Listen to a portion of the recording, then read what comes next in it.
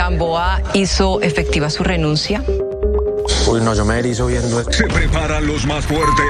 Las llevas a todas días por delante. Venimos a competir a darla todo. Y el touchdown solo lo hacen los mejores. Continuamos con los emocionantes avances del desafío 20 años y en este caso hablaremos del avance para el capítulo 13. Como hemos visto, Gamboa, si no estoy mal, por estar de glotona comió y comió de más y eso le causó un gran dolor que la afectó en todo su rendimiento físico y mental y por eso perjudicó su equipo en la competencia pasada, el cual automáticamente perdió por no poder competir, por lo que ella tomó la difícil decisión de renunciar a la competencia para no perjudicar más más al equipo y esta noche deja el desafío 20 años para siempre. Sus compañeros de equipo la despiden con abrazo y gran tristeza, pero la tristeza más grande la tiene Gamboa, ya que por su malestar y su cuerpo tuvo que renunciar a un gran sueño que se le hizo realidad y que apenas comenzaba. Hoy compiten los cuatro equipos y están completos y listos, y es de esas competencias cuerpo a cuerpo y donde la fuerza y la velocidad serán vitales para la victoria y como suele suceder, habrán muchos roces, golpes y hasta peleas por la agresividad de conseguir la pelota para anotar el punto tras punto para ir aumentando los puntos